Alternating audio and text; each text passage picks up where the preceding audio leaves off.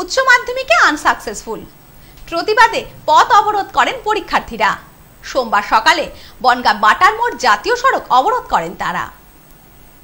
উচ্চ মাধ্যমিক পরীক্ষায় আনসাকসেসফুল হওয়ায় প্রতিবাদে পথ অবরোধ করল পরীক্ষার্থীরা। সোমবার সকালে বনগাঁ বাটার মোড়ে জাতীয় সড়ক অবরোধ করে তারা।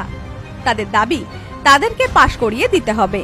বেশ কিছুক্ষণ ধরে চলে অবরোধ। অবরোধে তীব্র যানজটের সৃষ্টি হয় যশোর রোডে।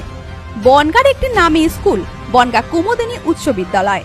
সেই স্কুলের ছাত্রীরা এভাবে পাশ করানোর দাবিতে পথে নামায় বিষয়টি নিয়ে নিন্দা করেছেন অনেকেই। ছাত্রীদের দাবি, তারা পাশ না করার মতো পরীক্ষা দেয়নি। তবে কেন তারা আনসাকসেসফুল হবে? আমাদের রেজাল্ট অনেকটাই ভালো হওয়ার কথা, কিন্তু এটা কেন হয়েছে? এর জন্য আমরা বলতে চাই যে আমাদের পাস করাতে হবে।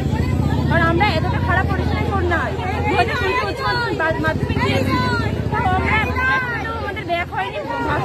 নাম্বার আমাদের স্কুল থেকে আমাদেরকে কারণ আমরা এরকম পরীক্ষা দিইনি যে আমরা পাশ করব না। পরীক্ষা দিয়েছে তারা পাশ করে গেছে আমরা কি করে ফেল করি ইংলিশে আর আমরা এতজনে একবারে ইংলিশে খারাপ কি করে হই এটা হ- এটা আমরা মানছি না আমরা মানবো না ইন্দ্রাণী উকিল আমাদের হেডে আমাদের জীবনে চোখে কোনোদিন ক্লাস নেয়নি আমাদের। আর সে সেদিনকে ফোন করা হয়েছিল, বলছে সবাই ফেল এটা কি করে হয়? এখন আমরা আন্দোলন করছি, আমাদের ভাই পাশ করে দিতে হবে।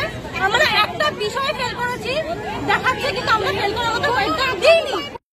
এ বিষয়ে স্কুল কর্তৃপক্ষের দাবি, কুড়ি তারিখ, মার্কশিট পাওয়ার পর বিষয়টি জানা যাবে। এবার দুশো উননব্বই জন পরীক্ষার্থী পরীক্ষা দিয়েছিলেন। এদিন সাঁত্রিশ জন ছাত্রী অবরোধ করেন। আমাদের দুশো বিরাশি জনের মধ্যে দুশো উনআশি জন পরীক্ষা কমপ্লিট করেছিল। এখন যেটা মানে মোটামুটি আমাদের ওই সাঁত্রিশ জন দেখলাম, যারা আনসাকসেসফুল একটা বিষয় দেখাচ্ছে। ফলে এরকম জিনিসটা তো ওদের কাছে নতুন যে আনসাকসেসফুল একটা নেটে যখন ওরা দেখছে সেই জন্য ওদের একটু সমস্যা হচ্ছিল যে বিষয়টা কি ফেল করেছি না পাশ করেছি। যাই হোক আজকে সেটা আমাদের স্কুলে বা আর কি একটা লিস্ট আনিয়ে দেওয়া হয়েছে আনসাকসেসফুলের একটা লিস্ট সেই লিস্টে ওদের সমস্ত নাম্বারগুলো দেখতে পেয়েছে ওরা। দেখার পরবর্তীতে মানে ওরা প্রজেক্টের থিওরিতে কেসে কত পেয়েছে সেটা সমস্তটাই ওখানে ডিসক্লোজ করা আছে।